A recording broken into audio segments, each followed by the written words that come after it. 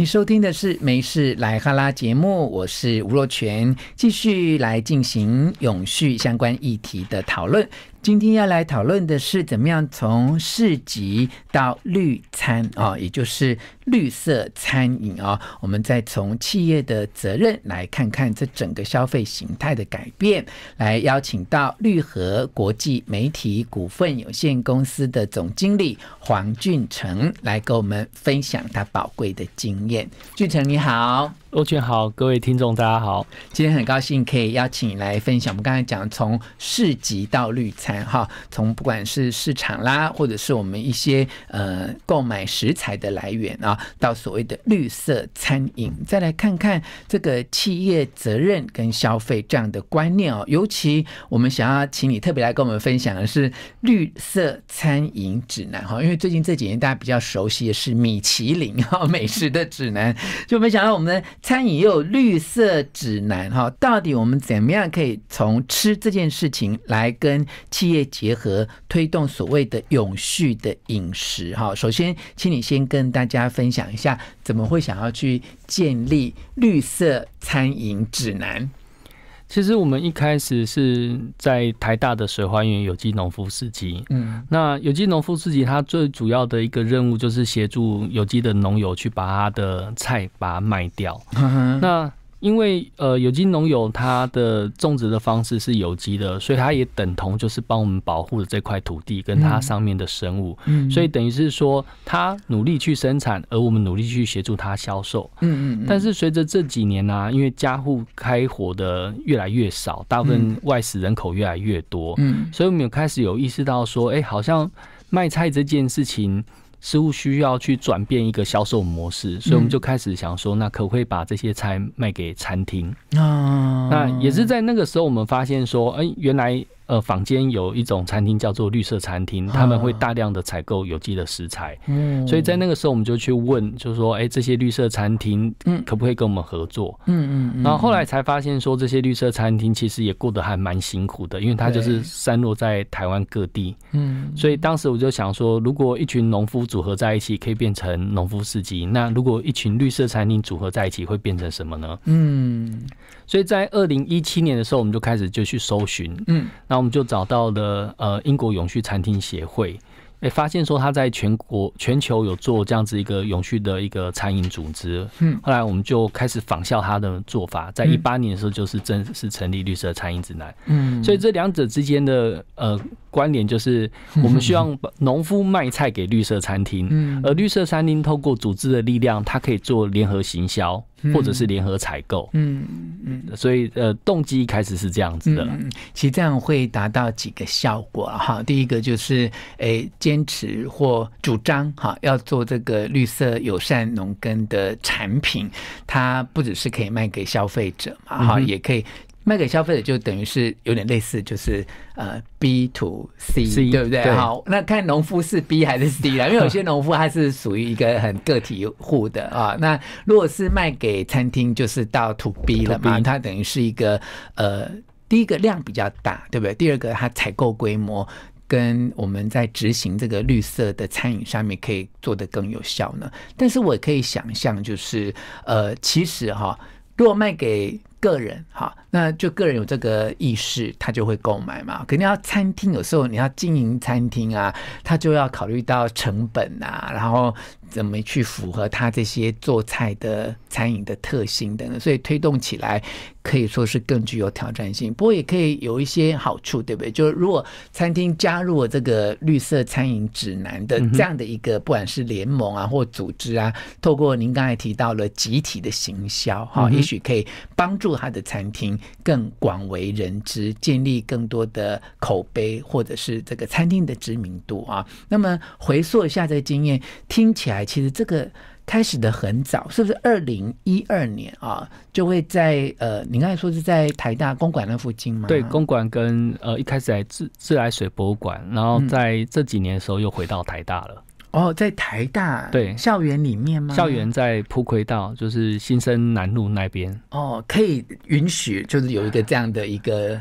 绿色市集嘛，对对对，特别是跟台大这边商议的啦，他们也也愿意去协助农友。哦，那在那边买的是一般的消费者吗？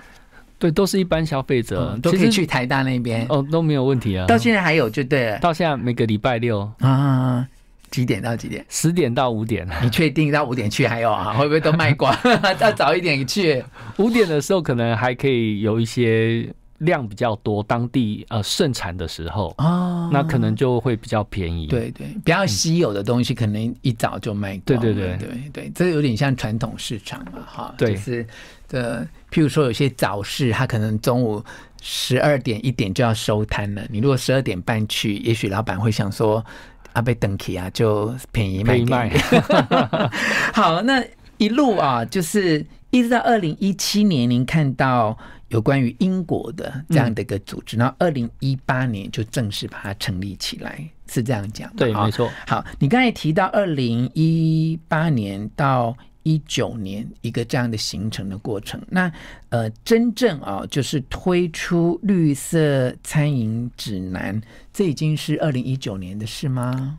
嗯，其实一八年的时候就开始正式推出了，是是，只是一九年的时候我们开始呃。跟国外这边邀请他进来，算是比较正式的结盟啦。嗯嗯，所以那时候就开始拥有一些国际上的一些资源跟一些国际上的资讯。哦，那这个资讯对我们来讲还蛮重要的，因为它可以提供我们过去欧洲它发展绿茶已经十多年的一个经验。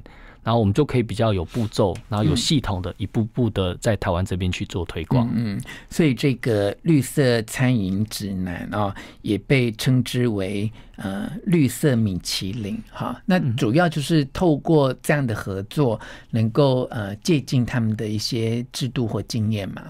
对，因为以欧洲来讲的话，一开始他也会建议我们先不要马上的去做评鉴。哦，因为评鉴的话，它就会有点像考试。嗯，考试的时候，它就会面临一个状况，就是考过了跟考不过。嗯，可是，在台湾对于绿色餐饮的呃认知还不够那么深的时候，马上考试这件事情对一个运动的推动不见得是好事。所以我们当时就想说，我们先用绿食宣言这边来作为一个基础的去推动，然后一直到。呃，二二年的时候，嗯我们才正式的把他们的评鉴制度，就是一页、二页或三页的制度，把它给导入到台湾。嗯嗯，所以其实这真的是呃，得到一个很有效的建议。哈，透过他们的经验，哈，刚才一听起来就觉得，哎，真的很有道理耶。哈，如果大家都还没有这个观念跟认知，然后就来评鉴，哈，一方面呃，未必每个人都能够符合这个评鉴的标准嘛。啊，第二个，我觉得那个。被推动或被召集人觉得说：“哦，你就来考我 哈。”那他可能心中的呃这个反抗的阻力也比较强一点。但是如果用宣言，就我们鼓励大家一起来做哈，就会呃更有效果一些啊。那我们聊到这边休息一下，等一下再请黄俊成总经理来跟我们继续的分享这绿色。餐饮指南，它是怎么样逐步建立这样的分级制度，以及带给我们在餐饮上面哪一些改变？I like 不只要自己吃的健康哈，还要能够结合农友跟消费者与餐厅为我们的绿色餐饮来尽永续的心力啊！欢迎继续回到美式莱哈拉节目现场，这是绿和国际媒体股份有限公司总经理黄俊成来跟我们分享他的绿色餐饮指南。呃，我们刚才讲到的是跟英国的 SRA 永续餐厅协会来合作嘛，哈，在引进这个要付费用给他吗？呃，目前是不用啦。真的？怎么有这么好的？这很公益耶，而且他就传授这么多经验给大家，哎。呃，我觉得第一个是我们有跟大家哭穷啦，就是说我们就是一个民间单位，然后想要推动这件事情。那我觉得其实把自己的处境很诚实的跟国际友人沟通，其实是可以得到他们的谅解的。那当然是说，随着台湾这几年慢慢开始已经成型的时候，未来有可能是需要去付一些费用的。嗯，那至少。前面五年他都没有跟我们掐取任何的费用，这表示他对我们带有极大的一个善意了。对，友善，而且他就是提供很多的传授这些经验跟秘诀，对不对？没错。刚刚这个就先不要品鉴，先选这件，我个人都觉得很宝贵。而且他们两任的执行长前后来台湾两次，嗯哼。那一方面也是，嗯，作为一个国际友人来到台湾帮我们站台，就是说，哎，现在国际现在有这样子这个趋势。那另外一方面，他也有。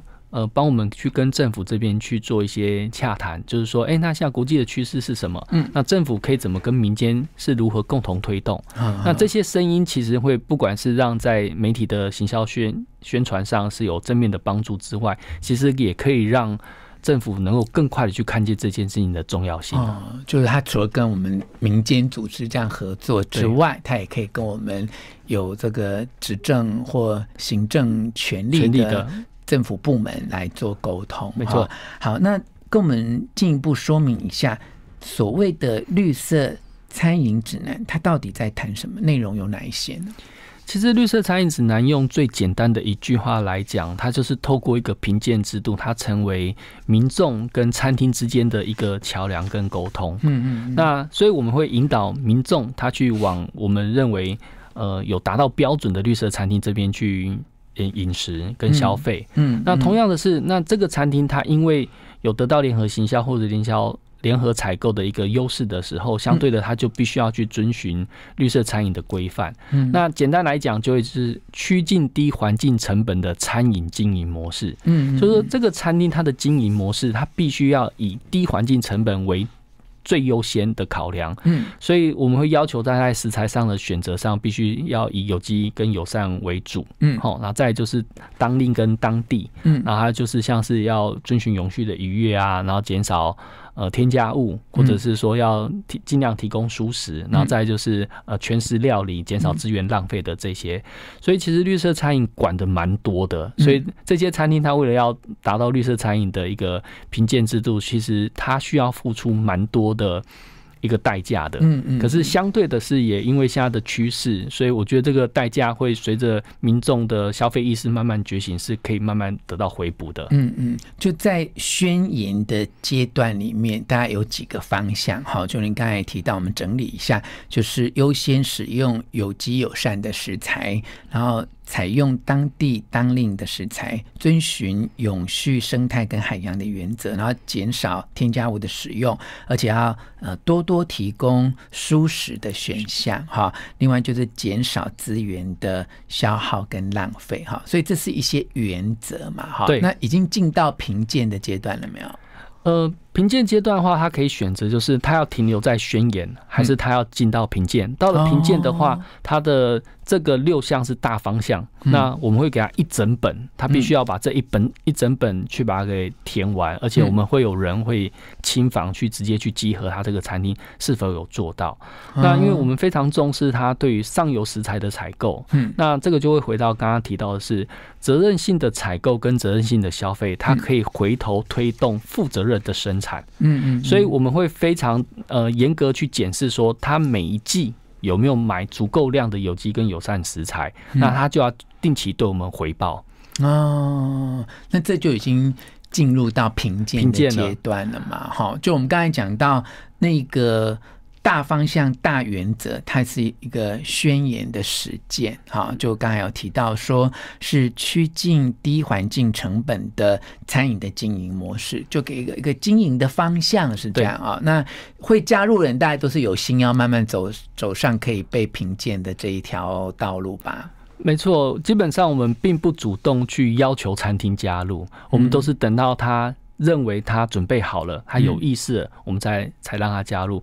甚至于有的时候，呃，餐厅如果他情况不允许，而他却做的很用力的时候，我们反而会担心他会倒掉。比如说，当周围的民众对这件事情他认知性是不够的时候，以至于你的食材成本被垫高了，但是你的呃收入并没有把它补回来的时候，我们反而跟他说：“你可以先停在宣言，你不用急着马上要进到一页、二页的这样子的。”的评鉴，嗯，所以还是会先以人文主义为主啦，嗯先照顾到餐厅的生计，然后再逐步方向的往前推进。好，刚才总经理提到的一页、两页、三页，那个叶是叶片、树叶的叶，对对，它就是在我们这个绿色餐饮的宣言里面用那个叶子。再来代表哈，就是一颗星、两颗星、三颗星，但是一页、两页、三页啊。那么在宣言的阶段，其实也有在，当然没有要去强迫别人哈，也没有要积极的去拉拢，可是它就是一个号召嘛。所以，我们刚才讲到了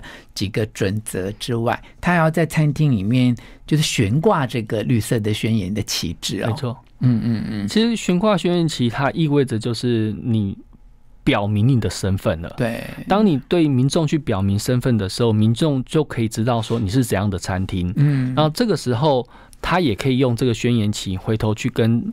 这个餐厅去沟通说，哎，那你用的有机菜是谁的？嗯，哦，那它也变成一种全民的一个集合。那对这个餐厅而言，他就不用到处一直跟你讲说，哎，我的菜很好哦，因为我已经有第三方帮你表明你是谁了。嗯嗯，所以就是第三个元素了嘛。我们刚才讲到第一个是要遵循绿色餐饮宣言的六个准则，对不对？第二个就是要悬挂这个绿色宣言的旗子，好，那么第三个就是要揭露。你餐厅食材的来源，好，那么这三项就是你在绿色餐厅里面你可以吃得安心的一个原则性的一个保障了。没错，其实揭露也是蛮重要的一环啊。那当然说，如果有些商业机密，你可以不用讲你的数量，但是至少你要让我知道它的上你的采购上游食材是谁，这样子我们才能够回头去集合说你到底有没有使用这样子的食材。哦，好，其实餐厅老实说，一般民众哈。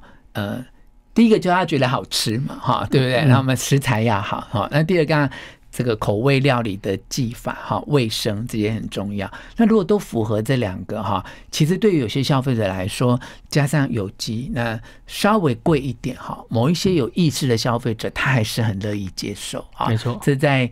绿色餐厅一个宣言的阶段，我们等一下回来再来看看，进入了评鉴之后有哪一些步骤可以让消费者能够有所认识，也能够吃得更安心。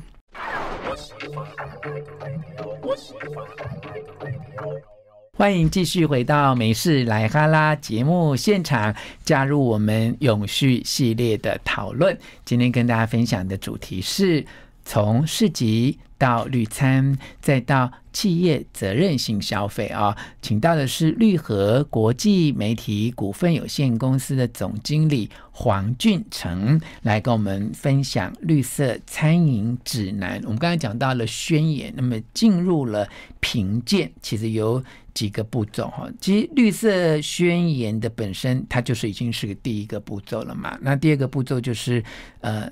全食材能够标明它的来源，嗯，那么如果这两个都很有信心做到，呃，也有意识要加入正式的评鉴的话，就可以进行评鉴了。没错，嗯嗯，有分三级，分三级。它第一级的话，基本上它会以食材为主，我们会要求它的有机食材的比例必须要达它的总采购金额的百分之四十。百分之四十，那最主要的，我们并不以重量来分，因为怕他全部都买米。嗯，哦，那那他可能除了买一些生鲜叶菜类的，他其实他的采购金额是有可能达不到四十趴的时候，他就必须要去买永续渔业，哦，或者是说呃比较友善的畜牧，或者是所谓的非龙式的鸡蛋，去把它给补足，或者是说有机豆腐。所以绿色餐饮它。在食材上的选择上，跟被集合的其实是蛮多样的，并单并不单单只是我们印象中以为的只有有机菜而已啊。嗯嗯嗯，光是一页一页就是等于说这三级里面。最基础的，对不对？我看到这个标准蛮多的，哎，就除了这个我们刚才讲到食材的选择之外，还有它是剩食的处理哦，然后还有绿色概念的宣导，还要友善员工。这个呃，像友善员工通常会是到二页。然后到了二月的时候，他开始也会管能源，还要管社区。到二月不是已经有社区关系了吗？嗯嗯嗯，就是它其实有点像是一种食农教育，就是说，因为餐厅它是汇聚了很多周围的人会往你这边来吃饭，嗯嗯，所以如果你可以在餐厅去做相对应的某些像食农教育或者是饮食素养的一个宣导的时候，其实它是一个很好的一个发散地。是，所以其实，在欧洲的时候，他们并不把餐厅认为只是一个。买卖的工具而已，它其实可以肩负更多的社会意义跟价值。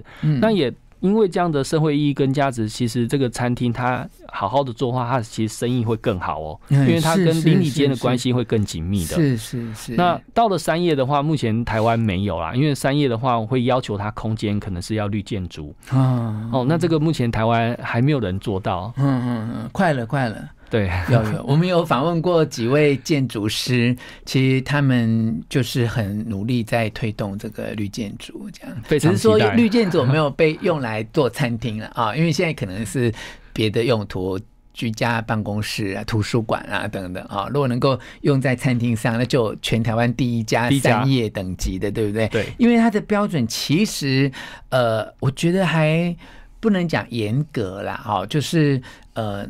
就是每一个阶段都有你必须要去挑战的目标。对，好，现在刚才讲到第一个阶段，有机食材要达百分之四四十趴，这是采购金额嘛？采购金额，对不对？那因为也许叶菜类东西它不容易，就是贵到这个程度，所以要用鱼类、有机鱼类，或者是刚才讲说非笼式的一些鸡蛋，它要去补上。嗯嗯嗯嗯，那就有机会了，就有机会了，对不对啊？那么二叶餐厅要。食材要达到六十以上，好，你刚才讲到，呃，从我们刚才讲到员工关系之外，就是还要这个能源的政策跟社区的关系都要能够符合。到了三叶餐厅，其实最主要、最主要还是在绿建筑的部分，哈。那另外就是它的有机食材要达到百分之八十，有人现在有人达到百分之八十，但是。就因为绿建筑的，对，有吗？有有到有吗？有有有哦，是哦，所以他们就是期待有绿建筑，对不对？因为这个事情不是他本身能克服的，除非除非自己盖一个。呃，对，有我们有听过有有老板他们觉得说，他可以想尝试看看，他直接盖一个新的。其实我觉得有时候这建筑的成本也不是那么高，可是问题就是地段反而是那个你能够做绿建筑的地段或土地的地段，那也要是一个商圈嘛，好，因为台湾。才刚开始推广，你说有没有人为了三餐够个饱，然后开个两公里去吃绿色餐厅？这可能就要研究一下，对不对啊？所以它的便利性才能够支撑它这个绿色的餐厅可以活存下去哦。那聊到这边啊，除了餐厅之外，哈，是不是也有不同的通路业者啊一起加入在这一个循环里面呢？其实目前除了呃，传统认知的绿色餐厅，现在开始有一些像是有机店啊，或者是像民宿业者，他可能有提供早餐的，嗯，那他可以加入宣言店家，嗯，哦，但是他就没有办法。呃，参加一业、二业跟三业，所以业绩的话，基本上还是针对餐餐饮业者跟餐厅这样子。嗯，那如果说你今天是饮料店或什么，那可能就是加入宣言就可以了。嗯，那其实在这几年，应该从去年的时候开始，有大型的企业的员工餐厅开始加入。嗯嗯，所以其实我们等同是有点是提供企业的一个 ESG 的一个解决方案。嗯嗯，因为过去很多企业在做 ESG 的时候，他们可能最直接会想到的就是。种树、进摊，哦，或者是办论坛。但是其实，如果透过饮食这件事情，让你的员工，像我们有些科技公司，它可能是上万人，上万人在吃有机菜这件事情，它的减排数据其实非常的可观。嗯，而这是目前我们在跟企业接触，我们发现企业 ESG 里面 CP 值最高的。嗯，就是你仅仅只是要买菜，然后就可以。呃，创造了很多的减排数据之外，然后还可以提高员工福利啊，还可以照顾农民啊，然后还我还可以换算成你呃多少照顾多少农民，呃以及照顾了多少的土地，还有它上面的生态指标这样子。嗯嗯嗯，所以它是一个非常划算的一个。ESG 的一个行为啊，嗯嗯，我们知道现在很多企业都在推动这个 ESG 啊，那有大部分都是呃老板哈，企业家他本身自己的良知良能嘛，在经营企业，他也希望能够呃为地球的永续啊，为台湾的土地能够尽一份心力啊，那也可以借由您的观点，呃，跟那个还没有这方面意识的企业家或呃经营者哈，就为什么？呃，符合这个 ESG 哈，我们对于这整个呃环境啊，这个社会责任啊，就帮我们经营管理哈，这个概念为什么要重视它？那花这么多努力去符合这些标准或排碳，那又怎样呢？其实我觉得最重要的一个原因是我们过去会把很多的成本外部化。譬如说，我透过对环境相对的不友善而减少我的制造成本，对。可是这件事情本来就是不合理的，所以他现在只是说全球意识到这件事情，他把外部成本内部化，就是说，如果因为你开一个工厂，你对周围的环境造成影响，那理论上你要把你的收益去回馈。嗯，但这也是为什么 ESG 跟 CSR 它现在开始会变成全球，不管是苹果供应链，它会向下或是向上去要求的一个。最重要的原因，那对这些企业主或这些企业而言，我我相信现在已经不是你想做或不想做的问题了，而是你未来你一定得做。嗯，那既然未来一定得做，其实我觉得绿色餐饮的。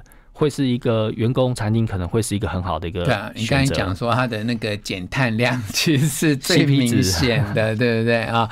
也是企业经营者要呃推动哈永续的概念啊，就是投资报酬率最高的一个。没错啊。好，那我们休息一下，等一下再回来。I like 你所收听的是《没事来哈拉》，我是吴若全。今天请到绿河国际媒体股份有限公司总经理黄俊成来跟大家分享，从市集到绿餐，再到企业责任性消费啊。好，我们刚才提到了，其实如果企业要响应永续的议题啊，那么透过 ESG 或社会责任种种的概念，那么。员工餐厅啊，用绿色餐饮的观念来营运，其实是一个投资报酬率很高的啊。那到底呃，我们这个绿色餐饮指南跟企业 ESG 怎么样把它融入在一起啊？我看到资料，一个是把员工餐厅转为绿色餐厅，就符合我们刚才讲的绿色的宣言那几个啊。另外就是呃，员工外食可以有绿色餐券，这是什么呢？其实像大部分的大型的科技公司，他们都有发呃电子电子券啦，就是他可以拿着呃这个点数，他可以到外面去做一些采购。我们也蛮希望是说，透过这些企业给予的电子券，它可以导引到永续产业。譬如说，假设过去说呃企业给你呃五千块好了，那你就可能随便买。那未来他可能希望我这五千块里面是能够去采购有机食材，嗯，或者去去永续永永续锂电之类的，就是有意识的去导引他的员工做责任心消费，嗯，那他的员工做这个责任心消费的时候，他的行为是因为企业去导引的话，所以他的行为又可以回头变成这个企业的一个一个数据，譬如说呃某某企业的员工呃今年吃了一万餐绿餐。哎，这个数据可以算回到这个企业的身上了。嗯嗯嗯，而且，呃，在外面经营啊，能够接受这些绿色电子商券的商家，他本身也要是一个以绿色的观念来经营的商家嘛，所以就会会让这个供需两方面因为绿色的观念而有了一个很直接的连接。没错，好，会建立一个所谓的。绿色消费的生态圈啊，如果再加上一些行销的活动的设计哈，几点的回馈，就会让这个供需双方都热络起来。对，没错，它可以会是一种互相拉抬啦。对对，难怪你叫做国际媒体股份有限公司，其实就是一个行销宣传的功能性的概念啊。没错。好，那么刚才提到跟企业合作当中啊。呃，有一项是 ESG 减碳量化数据嘛？哦，那可以跟我们分享一下这部分是透过哪一些方式哦来做到 ESG 减碳量化数据呢？其实以采购有机菜这件事情，呃，其实并不难算，就是一个呃，如果一个单位面积的一块土地，它因为采用有机农法，嗯，那它可以。因为是有机，所以它不喷农药，所以它也不施法化肥，所以基本上因为这样子就可以算出说它相对于一般的农法，它减了多少的碳排数据。嗯，那另外一方面，它是有机菜的时候，它会把空气中的二氧化碳，呃，透过呃植物把它给打到土壤里面，那这个叫增汇。所以基本上，光是买有机菜这件事情，在减排数据跟增汇数据就可以得到双重。嗯，那目前呃，台湾的农粮署它现在有在计算这个部分。嗯，最快的话，也许在年底的时候，这个。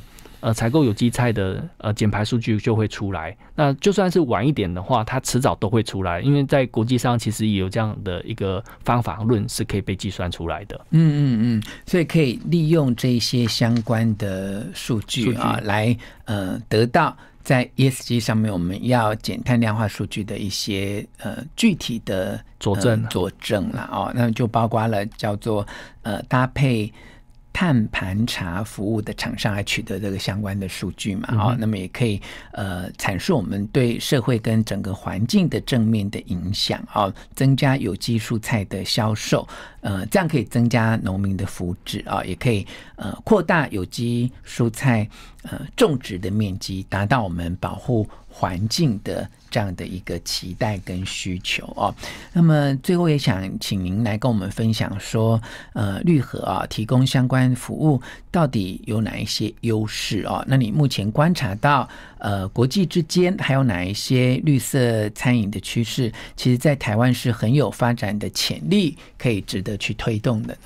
我觉得首先，如果企业他想要做 ESG 的话，因为呃，我们是拿国际认证啦，嗯嗯，所以他在 ESG 的报告的时候有国际认证，对他相对的是比较有公信力的，这是第一个。嗯，然后另外一方面就是透过我们的辅导的时候，其实我们会开始酌量的去改善他在饮食上的一些改变。嗯，譬如说有企业在问我说，我有我有没有可能在不增加费用的情况之下，然后能够做到绿色的员工餐厅？我说可以啊。你就偷偷的把你的肉类给减十五趴，嗯，就员工他少吃十五趴的肉，他感觉不出来，而这个减下来的十五趴的肉类的采购金额，你就可以拿来买有机菜，因为肉很贵，菜很贵，肉就会更贵，所以你把肉减十五趴，理论上你就可以把这个钱拿来去变成有机神仙的采购。那像这是一个，然后另外一方面就是，你也可以说好，员工可不可以愿意增加十块就可以吃到有机菜？如果增加十块就可以吃到全有机，你觉得员工会不愿意吗？所以其实他会有很多的方法，所以对有些企业主或者是。呃，一些呃 ESG 长的时候，他可能会看到问题的时候，他会卡住。其实我们会比较邀请的是，当你决心要去做这件事情的时候，你自然会去找到方法。那如果说在某个领域上你不是那么的清楚的时候，其实可以透过跟我们的互动，我们可以告诉你说，其他的企业是怎么做的，还有国外他们的进程是怎么做的。嗯嗯嗯，好，我们觉得很有道理哈。呃，以我来说啦，就每一餐多十块钱，但我吃到的。叶菜、蔬菜都是有机，我我 OK，好 OK，但是要挑战一下黄总经理哦。刚才说少十五趴的肉，员工不会发现，有些人就很爱吃肉，你觉得他不会发现吗？我觉得第一个，本来有一只大鸡腿，现在变小鸡腿，容易发现哎。我们我们可能不是变大鸡腿跟小鸡腿，而是说我们可能比如说偷偷的像什么肉丝里面去减量，但是。其实这可以啦，这可以炒肉丝。其实青菜炒肉丝我没有很爱那个肉丝，那个可以不用。对，其实对员工他们最比较担心大鸡腿变小鸡腿。其实我们现在的观察，对员工他最在乎的不见得是肉类，他最在乎的是好不好吃。是啦，是啦。可是蔬菜好不好吃，我跟你讲，嫩不嫩就很重要，没错，对不对？其实你我真的，我个人觉得说。如果是嫩的蔬菜啊，就是水煮就好了，我都觉得很好吃，你知道吗？可是那老的蔬菜，你给我油啊、辣椒、蒜头弄一堆，我还是觉得不好吃啊。就烹调的技术可能也是一个关键了。我觉得烹调的技术，还有就是食材的好好不好，这很重要。对，像在国外的话，我们现在不断的宣导的是少吃肉，但是吃好肉。嗯，以像我们国民是了是，以我们现在国民来讲，我们的食肉量是我们的祖先的六到七倍。哇，其实我们到目前为止，人类吃肉量是历史高峰。好了好了，了跟正吃小鸡腿就好了，没有要吃大鸡腿这样。不过我刚才只是一种趣味性的帮听众朋友指引啦啊，因为。一大块鸡腿变成小就一半了嘛？可是你刚才讲的是十五，不是五十嘛？对不对？好，如果一个连上面腿骨这样切一半，就是变成五十了，对不对？所以这是一个不当的质疑跟比喻。不过听众朋友听到这边，他就完全就懂了，就对。其实真的减十五帕的肉不太容易发现，就算发现你也觉得还可以接受。对，哈，好，非常谢谢总经理来跟我们分享绿色的餐饮，请大家一起来。与我们响应永续的行动啊！好，谢谢，谢谢，谢谢大家。I like